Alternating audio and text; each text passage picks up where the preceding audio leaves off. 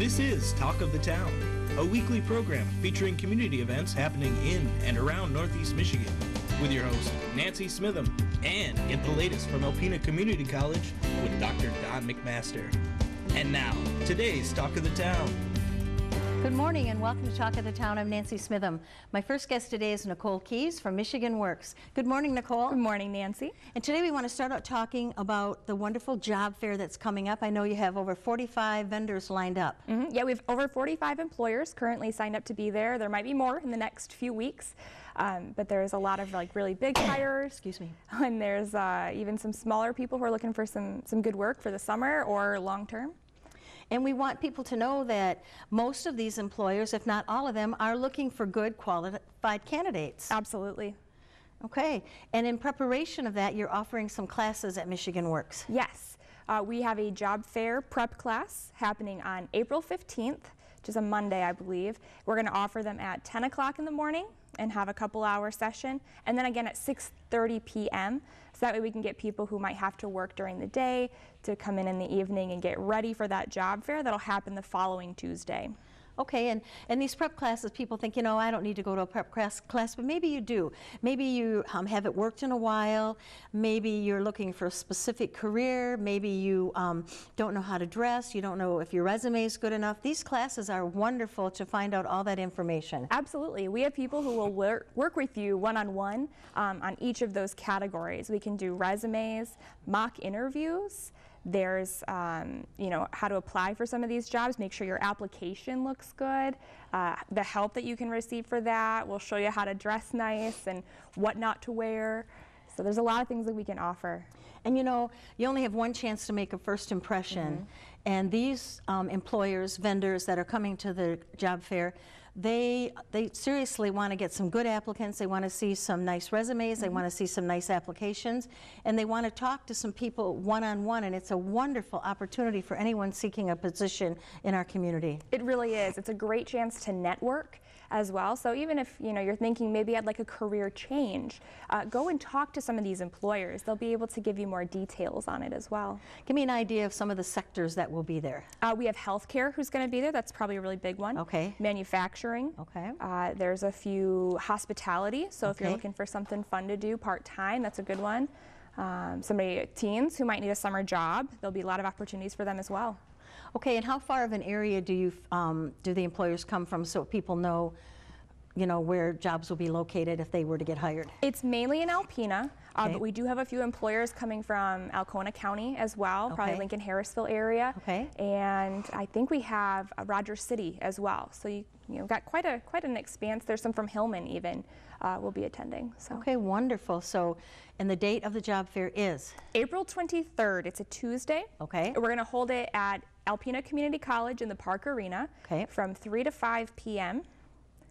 And think that's all the details I have on that one. Okay, so come, bring your bring a lot of resumes. Mm -hmm. You know, come prepared. There'll be tables for you to sit at mm -hmm. to be able to fill out the applications, and then bring them back and talk to somebody and one on one. And then hopefully, I know we've had some great success in the past with people getting hired at the job fairs. Yes, the job fair. I've never heard anything bad about it um, from either the the job seekers who attend or the employers. You know, everything works out really well. Okay, and now I know Michigan Works offers a bunch of other services, so give me an idea of some of the other services. One of the major things that we are doing right now is every Tuesday, um, starting I think at about 11 o'clock, we offer workshops very similar to the job fair prep classes. So if you can't make it to the Monday specific job prep job fair prep class, you'll be able to come any Tuesday of the month um, and, and take part in those workshops and learn the things, the resumes, interviews, how to apply for jobs. Okay. Um, and maybe what employers are looking for in an employee and how to get the help to, to qualify yourself for those positions. Okay, now those are um, services for job seekers. What do yep. you do for employers? For employers, um, I'm a business solutions professional. Okay. So I work one-on-one with owners and managers of businesses um, across Alpena and Alcona County to help get them what they need. And that could be employer or employment. Uh, they need people to, to work in their facility. Or it could be um, maybe some training dollars. We offer that as well. There's a lot of, of funding available through the state that we can help people uh, build themselves up, become more competitive in their field. Okay, so prep classes for people looking for jobs. What other things do you do for people looking for work? Looking for work. Um, well, we have the Pure Michigan Talent Connect, Yes. which is all of our job listings across Michigan, especially, you know, you can narrow it down to our area. A lot of our employers will utilize that service. And one-on-one help with a lot of stuff. And I think Um, that's the important thing. If you go in and, and you might say, oh, I saw that so-and-so company is hiring, and you might have an insight on that company Mm-hmm. and say, well, we have the applications here, and you know, someone can help them fill out the application, maybe help them answer some questions. Mm-hmm. If you're not really good on the computer, there's always someone there to help you fill out online applications, and so that you do it right, because like I said, you only get one chance to make that first impression. That's right. Okay, and I know you have a big, huge event coming up in Onaway. Yes, we have My Career Quest, and it's a hands-on learning experience for students from 7th to 12th grade to come and really explore career fields, manufacturing, technology, healthcare, construction, um, which are, are really in-demand fields Yes. right now. It's what people are, are needing. So we're looking for volunteers if anybody is willing to come out and help us with that um, to help these students really grasp what it is that they could do with their education, whether they want to go into vocational trade or um, higher education. And there'll be people from all over northern Michigan, employers and vendors that will be at this event. Yep. It's a great opportunity. Okay, and Nicole, what's the best way um, for someone to get in touch with you if they have questions about what we talked about today? A really good way is to call me. Uh, I have a cell phone number. It's 989 306 7288. Okay, Or you can email me at keysn at nemcworks.org. okay. And if they stop in, what are the hours at Michigan Works in Alpena on Michigan Chisholm Works, Street? uh, Monday through Friday, we're open about 8 to 5. Okay. And then on Thursdays, we open at 9. Okay, But still open till 5 every day. Okay. Well, thank you so much for being here, Nicole, and I look forward to hearing the great success of the job fair. And thank you so much for the time and energy that you've put together, or put out there, putting this event together. Yeah, thanks for having me, Nancy. Thank you. I'll be right back with Amanda Kacharik from Besser Museum following these messages. Welcome back. As promised, I'm with Amanda Kacharik from Besser Museum. Good morning, Amanda. Good morning. It's nice to be here. It's nice to have you here, and I know, as usual, Besser Museum has a ton of things going on. So I'm just going to let you start us out and tell Sounds us what's happening. So uh, members are going to be receiving uh, spring newsletters pretty soon here. Okay. And so um, I'm just going to go through and start with some of the new events that we have going on. We're going to be having a lot of uh, more like weekly events going on. Okay. So yoga is starting back up again with uh, Paige Trisco. And so uh, yoga takes place every Tuesday from 5.30 to 6.30. Okay. So you can come over and enjoy some nice relaxing time. We also have two new things that we're going to be offering. So we're going to have some late nights at the museum. Ooh. Thursdays and Fridays. Thursday is going to be our game night. And so if you head over to the museum, it's a BYOB, but bring your own board game. Okay. And so uh, if you bring uh, your board game over to the museum, we're going to be open from uh, 5 to 9 for Oh, wow. games. Uh, we'll have some planetarium shows while you're there. So it's encouraged, uh, bring your family, bring young people. But speaking of family, Friday is going to be our family night. So we're going to have um, the planetarium shows open. Uh, there's special rates for families. So same uh, opening schedule, 5 to 9 will be open. Um, we're hoping that people will be able to come from work, be able to spend some time with their family. I know it can be hard to get over there during our regular Yes, open yes. hours. And uh, sometimes people are busy during the weekend. Yes. So we thought we'd offer some weeknight activity times. What a great idea. And I have a friend who went there the other day and um, she hadn't been there in Mm-hmm. a while and she was just amazed at the, the juried art show and at the Avenue of Shops. And she had taken her mother with her and it just brought back so many wonderful memories. And she just, she Mm-hmm. just said, I'm going to make this more of a, a regular routine. Well, that's one of the best parts about coming to the museum is we're, we're uh, looking at the history of our community and we're sharing that with everybody. It's a family connection, it's friends and neighbors, and, and that's what we hope to be as a museum is this connection point for everyone. Well, you do a very good job of it. Thank you. So uh, those are some of our weekly nights, but now talking about new things that are coming up at the museum, uh, our two uh, art shows in the galleries are still going to be up for a little Okay. while yet. Uh, so if you haven't checked out the uh, non-juried The Winter Blues exhibit, it is Yes. still up until the 13th of this month. Okay. So you can still put in a uh, uh, your voter's choice award. So we're still holding that, so you can still pick that out. Um, but pretty soon, if you come through, you're going to see we're under a little bit of construction Ooh. because we're opening up at the end of this month, April 27th, uh, our Many Inspired Steps Apollo 11 uh, 50th anniversary kind of celebration. And so that encompasses a lot of educational oh, elements. Oh, wow. Uh, we'll be having some really exciting exhibit panels that we'll have up on the walls. Uh, we have a whole host of new planetarium shows that you'll be able to take in. Uh, some of them are starting right now in April. Okay. So if you come to the planetarium, a lot of the shows that we have uh, going on now uh, relate to science and exploration uh, past the moon and into the stars. Uh, one of which is actually uh, an Apollo 11 kind of historical deep dive into what we had to do to get to the moon. And that one's really my favorite. Oh, I bet. Mm -hmm. I bet. And you know, it's such a fascinating thing, and, and it still is today. It is. It's still so relevant today. And that brings me into one of the other things that we're going to be doing with this exhibit. Uh, we'll be hosting a community conversation.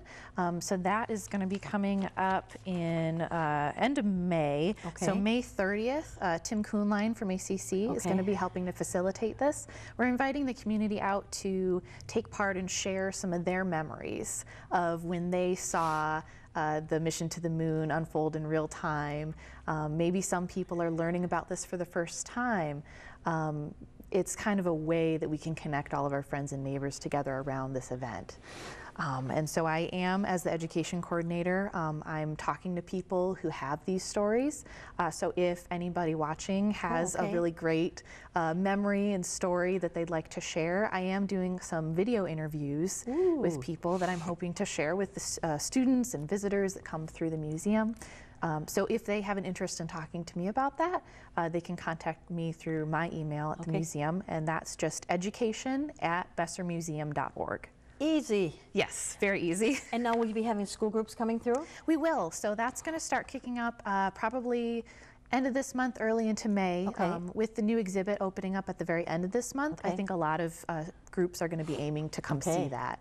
Um, there's a real uh, interest and focus in science in the classroom and how that yes. all relates to all yes. those other uh, activities. So we're going to have a lot of really great um, activities for the kids. Wonderful. Um, yeah, and I want to make sure that I'm not missing anything else. Um, we do have a couple of new exciting things going okay. on. Um, in May, we're going to be hosting a membership drive. Okay. And so if you get uh, the newsletter, you're going to see a whole host of really interesting information. Um, you're going to be entered into a drive, uh, a, uh, drawing. a drawing, I guess okay. is the better word for it uh, to win a really great uh, Mackinac Island visit package. Ooh. And so there will be more information about that coming out very soon. Um, there's also a connection with our uh, Alpena native painter, uh, Noel Skiba. Ooh. And so I if you want to check that, that out, there's some really great I figured pictures. that was Noel. Yeah, so um, if you uh, check that out, we're going to have all that information coming up pretty soon through the website. Um, we're also going to be uh, having that exhibit opening. It's April 27th. Okay. Uh, it's going to be celebrating uh, the museum itself.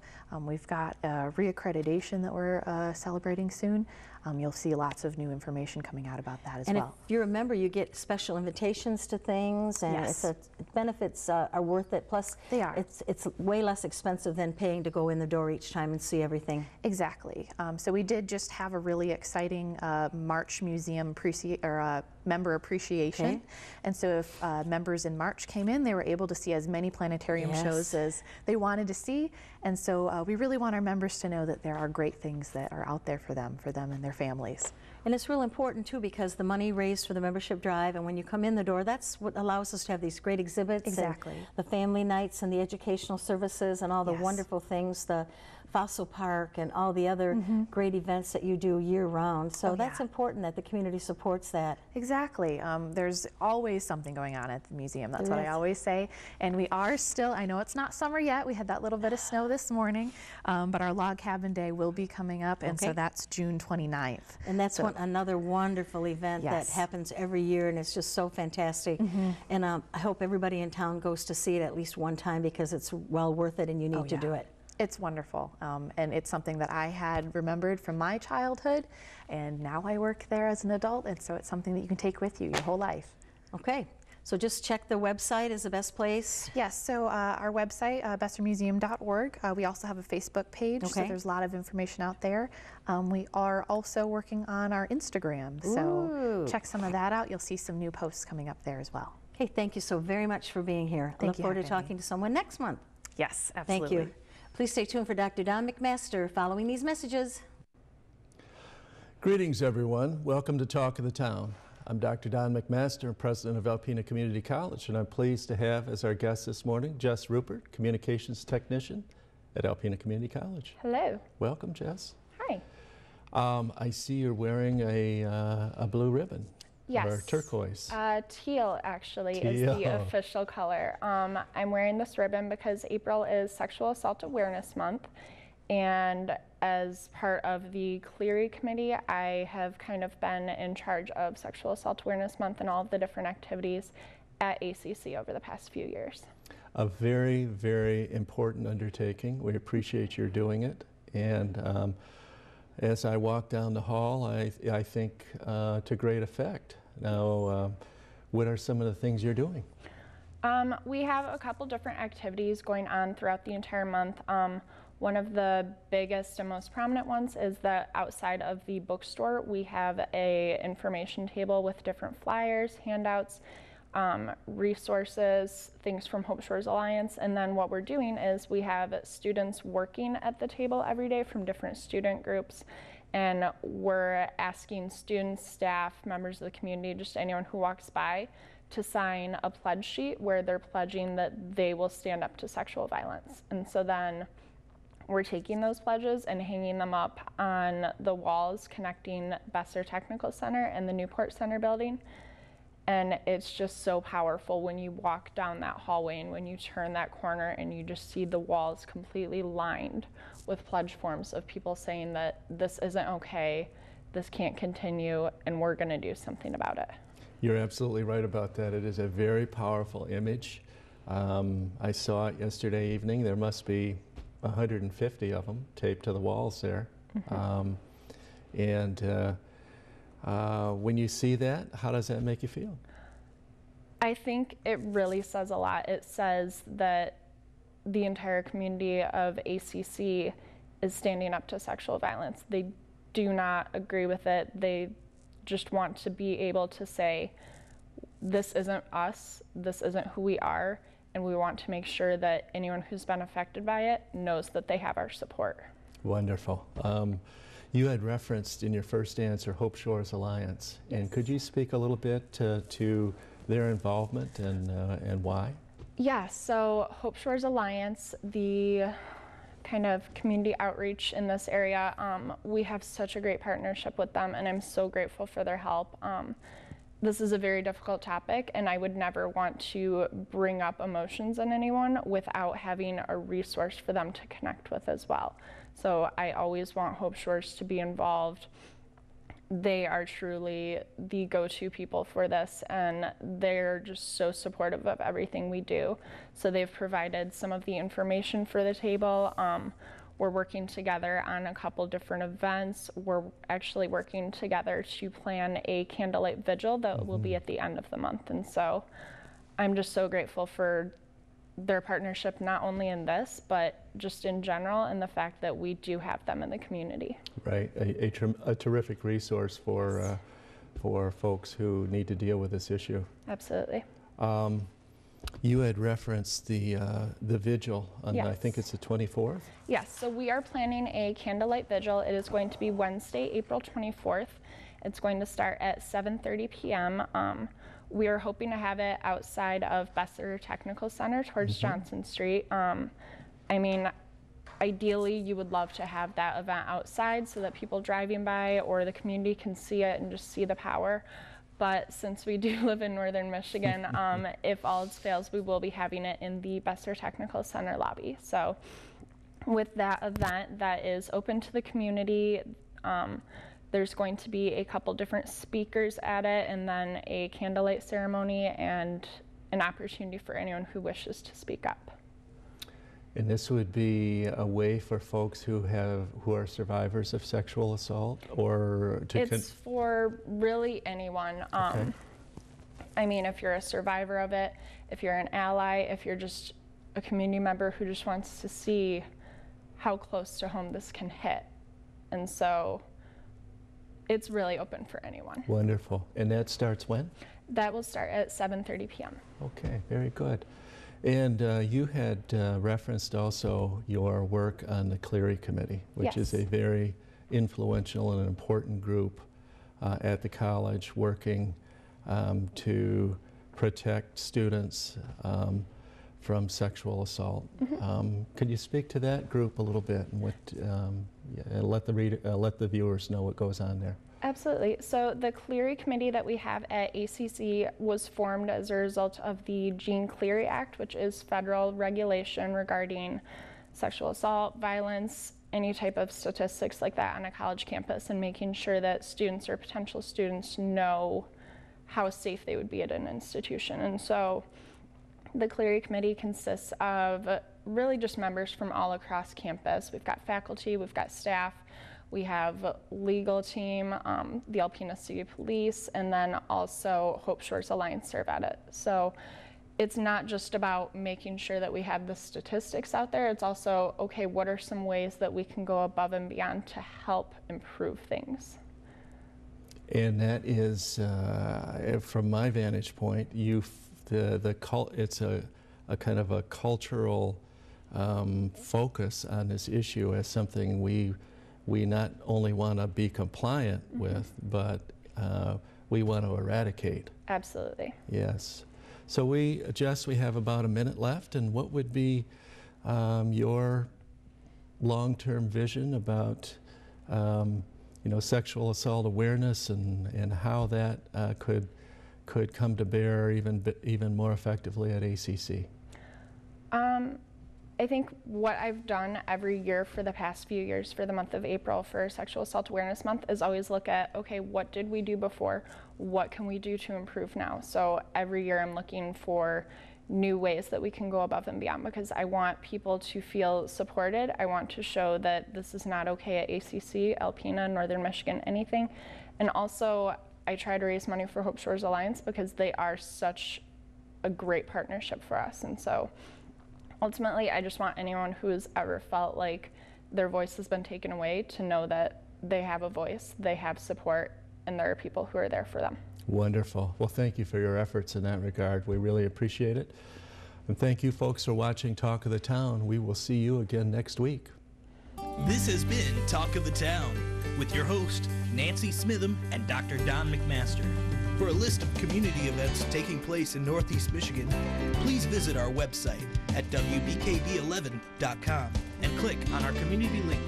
This has been a Thunder Bay Broadcasting Corporation production.